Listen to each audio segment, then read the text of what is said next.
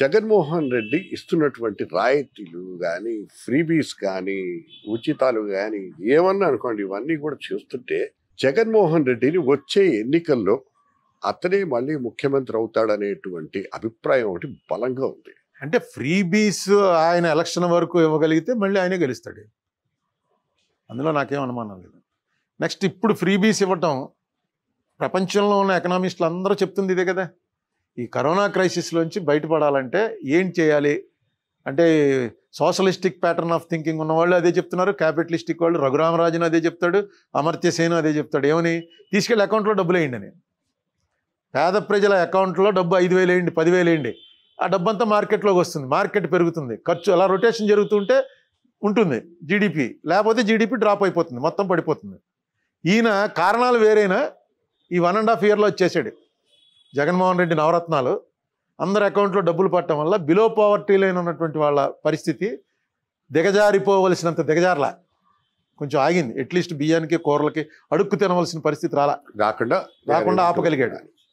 అయితే అది కరోనా దృష్టిలో పెట్టుకుని కాదు. అతను ఎప్పుడు అలా చేయాలని.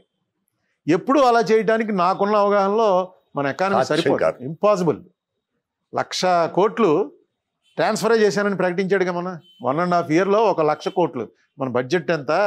లక్ష కోట్ల రూపాయలు ట్రాన్స్ ఎలక్ట్రానిక్ ట్రాన్స్ఫర్ చేసి పేదవాళ్ళ అకౌంట్లో వేసేటువంటి పరిస్థితి ఎన్నాళ్ళు రన్ చేయగలడు? కష్టం అది రన్ చేయలేడు. ఇప్పుడు ఆల్రెడీ క్రైసిస్ స్టార్ట్ అయింది. జీతాలు ఇవ్వటాలు డిలే అవుతున్నాయి.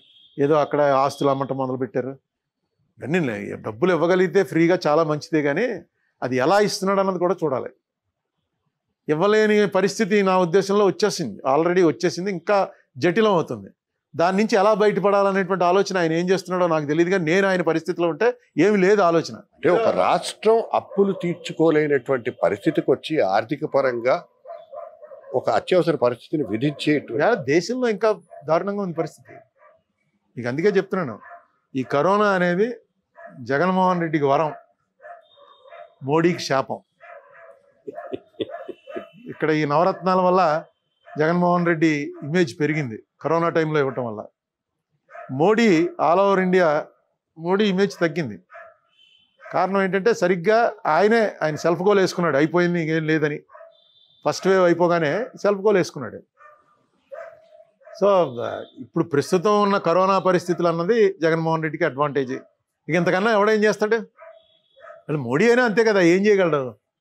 మనం మనకున్న దేశం ఎంత పెద్ద దేశం అసలు మనకి గుంపులు గుంపులుగా తిరగటమే మన కల్చరు మనకేమన్నా ఇంట్లో పండగ జరిగిందన్నా లేకపోతే గుళ్ళో ఏదైనా జరిగిందన్నా అన్నిటికీ ఏంటి వంద మంది వెయ్యి మంది లక్ష మంది కలవటం. జగన్మోహన్ రెడ్డికి ఏ విధమైనటువంటి వ్యతిరేక చర్య తీసుకున్నా కేంద్రం కానీ ఇంకో రకంగా జరిగినట్టు కానీ ఆయనకి అడ్వాంటేజ్ వ్యతిరేక చర్య తీసుకుంటే అడ్వాంటేజ్ కదండి అతనికి చేతకాక నువ్వు ఇలా చేసావని చెప్పి వాళ్ళు చేతనయ్యేటువంటి పరిస్థితులు తీసుకొచ్చి ఇంపోజ్ చేశారనుకోండి. ఏం చేసినానండి జగన్మోహన్ రెడ్డి ఆ రోజున జగన్మోహన్ రెడ్డి జైలుకి వెళ్తున్న రోజున గురించి నేను ఇదే చెప్తున్నాను. ఎవడైనా సరే పొలిటీషియన్ జైలుకి వెళ్ళాడు అంటే అది అతనికి అడ్వాంటేజే వాడు ఏదో రేప్ కేసో అలాంటి కేసులో వెళ్తే తప్ప మర్డర్ కేసులో వెళ్ళినా అడ్వాంటేజే మన ఎక్స్పీరియన్స్ చూసుకుంటే. రేప్ కేసులో ఇప్పటివరకు వెళ్ళినవాడు ఎవరు లేడు కాబట్టి నాకు తెలియదు కానీ ఏమో అది కూడా అడ్వాంటేజ్ అవుతుంది చెప్పలేము. సో అసలు పొలిటీషియన్ అన్నవాడిని పనిష్ చేయడానికి పెద్ద పనిష్మెంట్ జనం ఓడిస్తారు. అతన్ని ఎలా అన్పాపులర్ చేయాలి అన్నది చూడాలి తప్ప తీసుకెళ్ళి జైల్లో పెట్టి నన్ను నువ్వు పెట్టావు కాబట్టి నేను నిన్ను పెడుతున్నాను అనుకుంటే వాళ్ళు నిన్ను పెట్టారు కాబట్టి నువ్వు ముఖ్యమంత్రి అయ్యో నువ్వు వీడిని పెడితే వీడియో ఏదో అవుతాడు. ఆ పాలసీ తప్పు. జైల్లో పెడతారు మోడీ అనుకోను నేను. ఎలా ఉండబోతోంది రెండు వేల ఇరవై నాలుగు ఎలా ఉండబోతోంది జగన్మోహన్ రెడ్డికి? జగన్మోహన్ రెడ్డి ఫ్రీ బీస్ ఇస్తున్నంత కాలం అతనికే బాగుంటుందండి. ఎందుకంటే బిలో పావర్టీ లైన్ వాళ్ళలో సిక్స్టీ పర్సెంట్కి ఇవి అందుతున్నాయి. అందేటువంటి విషయంలో తేడాలు ఏం జరగట్లే. అందరికీ ఇస్తున్నాడు. తెలుగుదేశం కాంగ్రెస్ అవి ఏం చూడట్లేదు. ఎలక్ట్రానిక్ ట్రాన్స్ఫర్ అయిపోయి వెళ్ళిపోతున్నాయి. అకౌంట్లో పడిపోతున్నాయి. సో అతను ఇవ్వగలిగినంత కాలం అతను చాలా సేఫ్. ఇవ్వగలడా ఇవ్వలేడా అని ఇందాక చెప్పానుగా. అది చూడాలి. కేసీఆర్ గురించి టూ థౌజండ్ ట్వంటీ ఫోర్ గురించి కూడా ఇదే అభిప్రాయం వ్యక్తం చేస్తారా? కేసీఆర్కి ఇది దానికి పోలిక లేదండి అసలు. కేసీఆర్ది టోటల్ డిఫరెంట్ కేసీఆర్కి ఇక్కడ ప్రత్యర్థులు ఇద్దరు కూడా నేషనల్ పార్టీస్ కాంగ్రెస్ బీజేపీ. ఒక నేషనల్ పార్టీ తోటి తలపడుతున్నప్పుడు డెఫినెట్గా నేషనల్ పార్టీ కొన్ని ఎథిక్స్ మెయింటైన్ చేయాలి. తప్పదు. రీజనల్ పార్టీస్ డైరెక్ట్గా హ్యాండ్ టు హ్యాండ్ దెబ్బలాటే కుస్తీ పోటీయే. అక్కడ ఉన్న రీజనల్ పార్టీలే మనకి ఆంధ్రప్రదేశ్ నేషనల్ పార్టీస్ ఎథిక్స్ మాట్లాడితే ఎట్లా అండి మీరు కూడా? లేదు మొత్తం నేషనల్ లెవెల్లో ఉంటుందిగా. ఇప్పుడు ఇక్కడ ఫ్రీ కరెంట్ ఇస్తామంటే మిగతా ఇండియా అంతా ఇవ్వకుండా ఇక్కడ ఎలా ఇచ్చామని అడుగుతారుగా? అదే చంద్రబాబు నాయుడిని కేసీఆర్ని ఎవరు అడగలేరుగా? అంటే రిలవెన్స్ ఆఫ్ నేషనల్ పార్టీస్ జాతీయ పార్టీల కాదు కాదు. relevance నేను నేషనల్ కదా. పార్టీలోనే పనిచేసాను నా లైఫ్ అంతాను. నేషనల్ పార్టీ రీజనల్ పార్టీతో తలపడాలంటే చాలా ఇబ్బందులు ఉంటాయి Hmm. రెండు రీజనల్ పార్టీ అయితే హ్యాపీ ఏమైనా చేయొచ్చు. నా నేషనల్ పార్టీలో కష్టం. మిగతా స్టేట్లో గొడవ ఇక్కడ అసమ్మతి. ఇక్కడ ప్రతివాడికి అసమ్మతి ఉంటుంది కదా. కేసీఆర్కి ఏముంటుంది అసమ్మతి ఉంటే కొడతారు పక్క పోతారు అంతే. పార్టీలోని తీసి వారేస్తాడు సో కేసీఆర్ని కేసీఆర్ ఈజ్ డెఫినెట్లీ పోరాటం రాజకీయ పోరాటం కేసీఆర్ ది టఫ్ పోరాటం కంపేర్ టు జగన్. అక్కడ జగన్ చంద్రబాబు ఇద్దరే ఉన్నారు. చంద్రబాబు మీద కోపం అలా కంటిన్యూ అయితే జగన్కి అడ్వాంటేజ్ చంద్రబాబు? పవన్ కళ్యాణ్ ఎలా ఇంకేం తెలియట్లేదు. పవన్ కళ్యాణ్ అతనికి మొన్న వచ్చినటువంటి అవమానకరమైనటువంటి ప్రజా తీర్పు రెండు చోట్ల ఓటమి పర్సంటేజ్ ఆఫ్ ఓట్లు తగ్గిపోయి అలాంటి పరిస్థితిలో అతని పరిస్థితిలో ఉన్న ఏ ఒక్కడైనా సరే రాజకీయాల నుంచి విరమిస్తాడు. లేకపోతే కొన్నాళ్ళైనా ఏడుస్తూ ఇంట్లో కూర్చుంటాడు.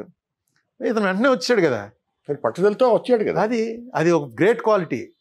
నేను ఎక్స్పెక్ట్ చేయలే. ఒక పొలిటీషియన్ అంత స్పోర్టివ్గా తీసుకుని వెంటనే వచ్చి నేనేం పారిపోలేదు నేను ఉన్నాను ఇంకా ఫీల్డ్లోను. నేను మీతో వస్తూనే ఉంటాను. ప్రస్తుతం డబ్బులు సంపాదించుకోవాలి కాబట్టి మధ్యలో సినిమాలు యాక్ట్ చేస్తుంటాను. చాలా ఫ్యాక్ట్ క్లియర్గా చెప్పాడు. That's a very big quality. నా ఉద్దేశంలో పవన్ కళ్యాణ్ కరెక్ట్గా వెళ్తే హిల్ బి ఎ ఫోర్స్. అంటే అది ఏ ఎక్స్టెంట్కి వెళ్తాడో తెలియదు కానీ డెఫినెట్గా ఈజ్ ఎ ఫోర్స్ ఆయన బీజేపీతో కలిశాడు కదా. అది సరే అది నిలిచాడు కాబట్టి బీజేపీతో కలిసాడు కాబట్టి నాకు ఇష్టం లేకపోవచ్చు కానీ పబ్లిక్లో పవన్ కళ్యాణ్నే చూస్తారు.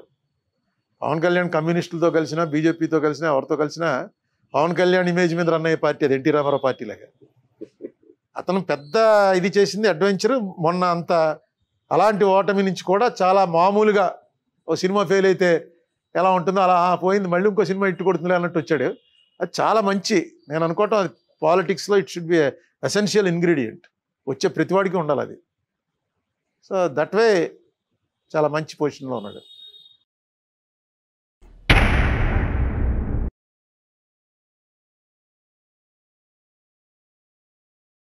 జర్నలిస్ట్ డైరీ ఛానల్ని సబ్స్క్రైబ్ చేయండి. ఎప్పటికప్పుడు జర్నలిస్ట్ డైరీ అప్డేట్స్ నోటిఫికేషన్స్ కోసం బెల్ ఐకాన్ మీద క్లిక్ చేయండి.